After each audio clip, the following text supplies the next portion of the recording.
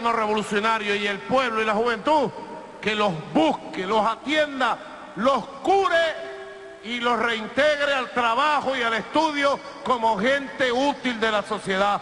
Eso se llama socialismo, humanismo.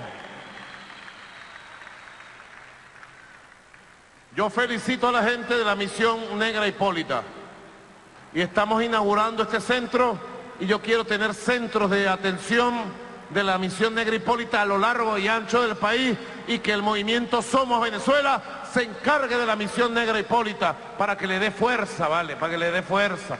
Y la juventud. ¿Cuántos psicólogos tenemos, por ejemplo? Oye, Pedro, profesor, ¿cuántos psicólogos tenemos entre la juventud? ¿Cuántos psicoterapeutas? ¿Cuánta gente de espíritu noble? Porque hay gente que tiene vocación para ayudar a los demás, tiene paciencia. ¿Cuántos enfermeros? ¿Cuántas enfermeras? ¿Cuántos médicos y médicas? Para que en Venezuela no haya ni una sola persona en situación de calle por razones familiares, de droga o de lo que sea. ¿Ustedes están de acuerdo conmigo? ¿Me van a ayudar con la misión Negra Hipólita?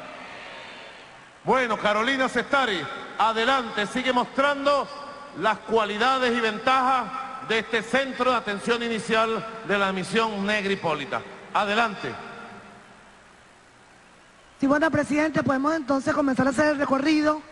Aquí contamos nosotros con 79 médicos integrales comunitarios y ya hemos hecho todo el convenio este, con el lámpara que los 200 médicos que van a ser parte de la próxima cohorte pues hagan también su, su pasantía aquí en la misión agrícola. Como usted bien lo dice, vamos a articular, como de hecho hacemos este, frecuentemente con la compañera María Rosa Jiménez, para que todo el movimiento Somos Venezuela, pues también esté, eh, digamos, eh, se fortalezca aquí con el trabajo de la misión agrícola. Vamos entonces a ver el centro. Adelante, muchachos. Acá contamos nosotros, una vez que el ciudadano es captado,